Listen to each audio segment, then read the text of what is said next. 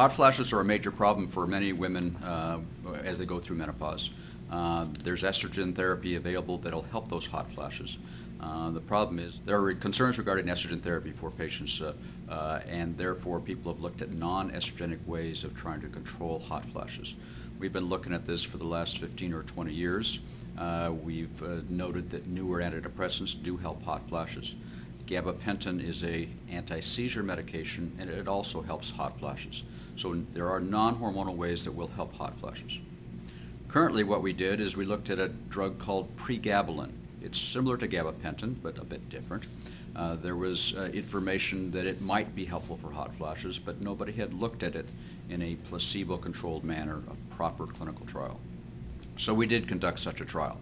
Uh, we took patients who were complaining of hot flashes, at least an average of four hot flashes per day.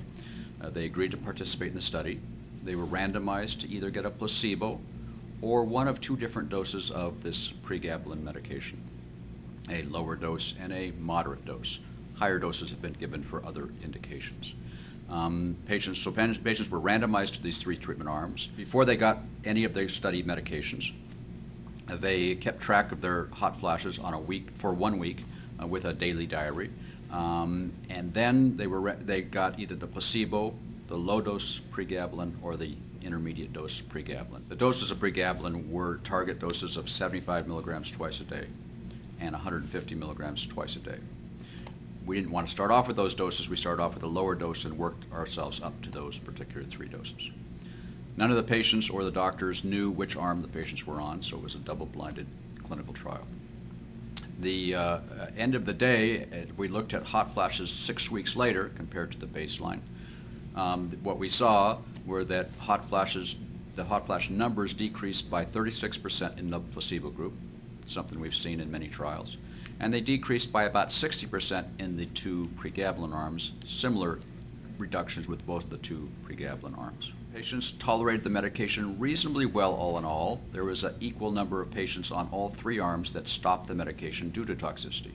But when we look at the toxicities uh, that were recorded, there were statistically more uh, troubles with a couple of things in the lower dose arm, and that is trouble with some concentration and dizziness. Um, but it seemed to be relatively mild and got better with time as the medication was continued. With the higher dose arm, there were the same problems as those as was seen with the lower dose arm, but also with troubles with some coordination, some uh, sleepiness, uh, some vision troubles, uh, and some weight gain.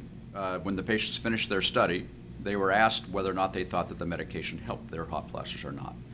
33% uh, of the placebo group said their hot flashes were improved, and this compares to about 70% of the patients who were receiving the two pregabalin treatment arms, similar in both arms, actually a bit better, higher number in the lower dose arm.